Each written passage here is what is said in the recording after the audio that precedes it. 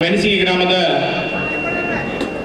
ಮೂವತ್ತು ವರ್ಷದಿಂದ R S S ಅಲ್ಲಿ ಕೆಲಸ ಮಾಡಿದಂತ ನಿಂಬಸಪ್ಪ ಬಾಣದವರು ಇವತ್ತು ಆರ್ ಎಸ್ ಎಸ್ ಡ್ರೆಸ್ ಮೇಲೆ ಇವತ್ತು ಕಾಂಗ್ರೆಸ್ ಸಿದ್ಧಾಂತವನ್ನು ಮೆಚ್ಚಿ Congress R S S Congress ಹಾಗೂ ಕಾಂಗ್ರೆಸ್ ಅಂತ ಹೇಳಿದ್ರಲ್ಲ ಅದಕ್ಕೆ ಸಾಕ್ಷಿಯಾಗಿ ಕಾಂಗ್ರೆಸ್ನಲ್ಲಿ ಹಿಂದುತ್ವ ಹಿಂದುತ್ವ ಬಗ್ಗೆ ಒಳ್ಳೆಯ ಸ್ನೇಹಿತರಾದ ನಿಂಬಸಪ್ಪ ಬಾಣದವರಿಗೆ ನಮ್ಮ ನರಗುಂದ ಬ್ಲಾಕ್ ಹಾಗೂ ಒಳಾರ ಬ್ಲಾಕ್ ವತಿಯಿಂದ ಎಲ್ಲ ಕಾರ್ಯಕರ್ತರ ಪರವಾಗಿ ನನ್ನ ನಾಯಕರ ಪರವಾಗಿ ಗುರು ಹಿರಿಯರ ಪರವಾಗಿ ಅವರಿಗೆ ಸ್ವಾಗತ ಮಾಡಬೇಕು ತಮ್ಮಲ್ಲಿ ವಿನಂತಿ ಮಾಡ್ತಾ ಇದ್ದೇನೆ.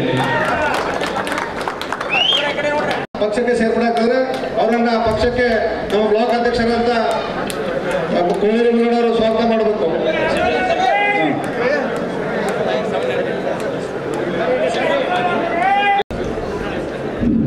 ಉಳಿಗಳು ಗ್ರಾಮ ಪಂಚಾಯಿತಿಯ ಸದಸ್ಯರಾದ ಪ್ರಕಾಶ್ ಕರಿಮೇರಿ ಅವರು ಕೂಡ ವೇದಿಕೆ ಮೇಲೆ ಬರಬೇಕು. ಸರ್, ಆಮೇಲೆ ತದನಂತರ ಮತ್ತೆ ಸೇರ್ಪಡೆ ಮಾಡೋಣ. ಸಾಂಕೇತಿಕ ಸಾಕೀಗ ಕಾರ್ಯಕ್ರಮ ಪ್ರಾರಂಭ ಮಾಡ್ತೇವೆ.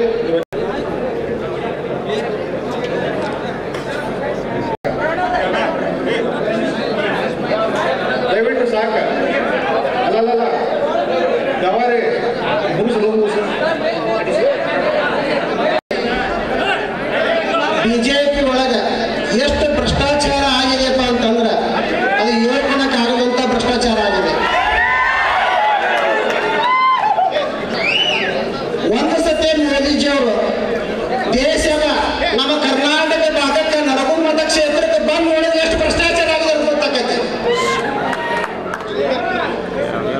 ಯಾರಿಗೆ ಭ್ರಷ್ಟಾಚಾರ ಅಂತಂತಂದ್ರ?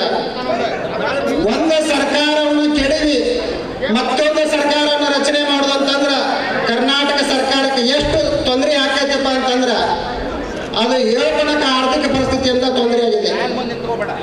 ಅದಕ್ಕೆ ಹೇಳಿ ಅಂತೇಳಿ.